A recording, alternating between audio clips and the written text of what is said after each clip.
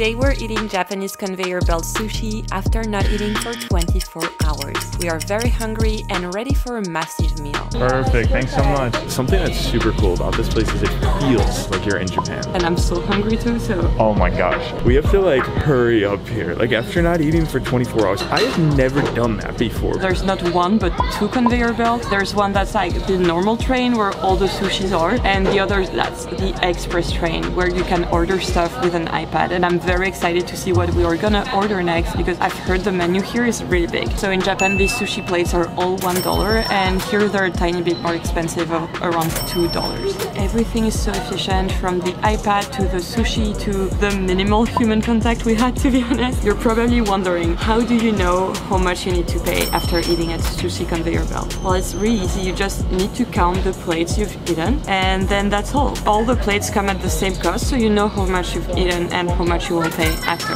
Before we get to the best part, which is eating, and I'm I'm excited for that. Very quick table tour here. We're gonna eat a lot. We are seated in a booth, which is fully private. You don't see anyone else, and that's maybe the main thing you notice here is there is almost no human contact, only machines and robots.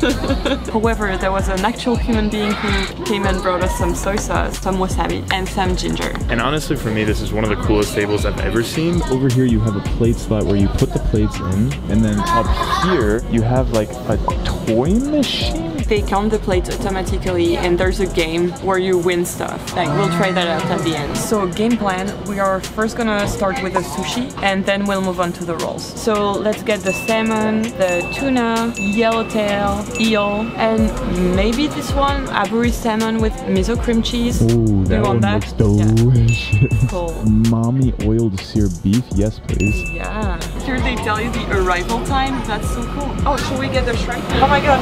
Oh, there my it God. Get the shrimp this I year. did that so hard. That was stress. That was like just pure suspense right there. One thing about sushi trains is you have to react really fast if you want to eat food.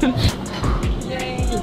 Wow. Oh, that's so cool. That was so fast. Oh my god. That is So cool. Let the round one commence. Oh my god. Round one. How many plates? Seven plates. This is a pretty big round one. Okay, so which one do you want to start with? Oh my gosh. Um, I'm so excited. I think I'm just gonna try the salmon. Yes. Yeah, the salmon is really perfect. It's super fatty. I think the fish to rice ratio is actually quite good. It's spot on. The tuna. Yes. Go for it, buddy. Delicious. Yellowtail. Super good. That is a pepper. Soy sauce is super good too. Let's finish with the classics and have some shrimp. It's so good. We are stacking up a decent amount of plates here, Lucile. Now the moment that we have been waiting for. I feel eel is the most underrated sushi ever because Yes. no one ever orders eel, but it's just so good. Umami oil seared beef. That is a lot of beef. Holy crap. This is so good and there's so much meat on it. And now the one that we have been waiting for. Aburi salmon with miso cream cheese. Go for it. Oh, you almost dropped the cream cheese. Is it the best one? Mm. Yeah, definitely, it's so good. So now let's move on to round two, the rolls. So we'll just order a bunch of rolls from the menu, and I'm very excited because it's a very, very big section. Okay, which rolls do you want, Bobby? Gotta get the spicy crunchy pop. Yes. Oh, kura roll. For sure, kura roll. On this page, I of course have to go with a spicy tuna roll, a classic, but it's so good. We have to have the spicy popcorn shrimp roll. Oh my god, yes. We are just ordering more and more and more. So I think we should go back to basics and order a, a normal maki roll, uh, tuna maki roll. Okay, now it's time for the hand rolls, and there's so many of them. Okay, which one do you want, Bobby? I really am interested on the spider hand roll. Yeah, go for it. Yeah. Oh my god, we were, we have reached the maximum amount of corners. Oh my god. We came here too hungry. Oh my god, it's here. So now we can finally order more. Spider roll. So now we should get a soy paper roll because I, I'm so excited to try that. So which one should we get? What about spicy salmon crunchy? Get that Oh my god, it's so hard to get. Oh, we're getting Wow, so many things. two at once. Well, Oh my do it. gosh, Lucile, Wow. what have we done on round This two? round is next level, so we have 9, 10, 11 plates. I have never seen a spicy taco roll ever before in my life. We are definitely starting with that one. Like, just look at that mound of food. There's like some tempura shrimp on top, then two jalapeno peppers, and under that there's a bunch of sushi rice, avocado. Everything is topped with super spicy sauce. this is next level. Oh, oh my god, oh my god, oh my god, it's already falling. It's so good and so messy. Here, let me help you. Everything's gonna fall. Oh my god. That is the Oh craziest sushi roll I have ever eaten. So moving on to something a tiny bit less messy. Um, these look insane. So this is the spicy popcorn shrimp roll. It's like they're puffed up. Like the, the shrimps are like puffed in like a massive popcorn. Like normally popcorn shrimp is like this little like pebble, and these are like pockets of popcorn shrimp. Oh my god. It is like perfection. It is so good. Moving on to this one. And it is absolutely jacked up. It is so good. It is so original. I think there's a bunch of crab meat on top in it, a, a lot of mayo. So we both have a Philadelphia roll here. Cream cheese, salmon, The deliciousness. classic. Philadelphia roll is always a good idea. Yeah, 100%. That pile is growing larger and larger. So this is the spicy garlic tempura roll. As you can see, it's just a deep fried ball of sushi, which is a very good concept. Next up, the caterpillar roll. Here, the first thing you see is a bunch of eel and avocado, topped with a lot of eel sauce.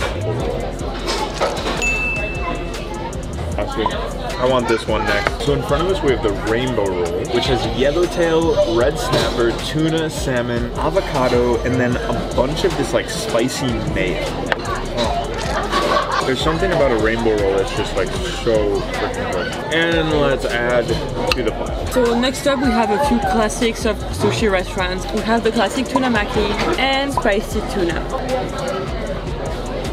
11, 12, 13, 14, 15. Oh my god! We can officially have the door. Yeah. Next up we have spider hand roll, which is crab meat, eel sauce, more crab meat, and shrimp mayo. It is so heavy. Yum. Oh my god. What, you ate the whole roll in one bite? I, ate the whole When you eat with Bobby, never let him have a bite of your food. Never let him have a bite of your food. Okay, should we do a round three? Next up, we have the gunkan rolls, which are basically sushi wrapped in a seaweed with a lot of stuff on top. The premium American base. Oh my gosh. This one, I think it's like fish egg. Should we order it? Yeah, yeah, let's order that. The inari rolls are oh, always so Oh, good. yes, They're yes. like my favorite. Oh my gosh. It's gonna go away. It's gonna go away. Like, you've taken too long. No sushi for you. Let's start with the fish eggs. Yum. I say we go for this one. Yeah, the egg roll. This is so beautiful. it's impossible to put in my mouth. Yum. That was most definitely my favorite one though. This one looks like a freaking steak. This is so good. It tastes between a steak and a sushi. It had the steak in there, but then the breadcrumbs. So it was like a crunchy steak. And of course, the tofu skin. Cheers. Cheers.